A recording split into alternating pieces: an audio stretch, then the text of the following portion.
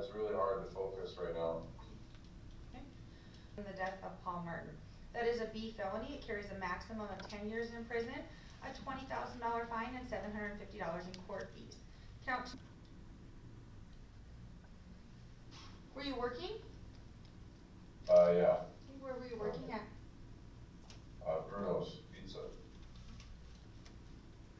Do you know if you'd still have your job if you were released?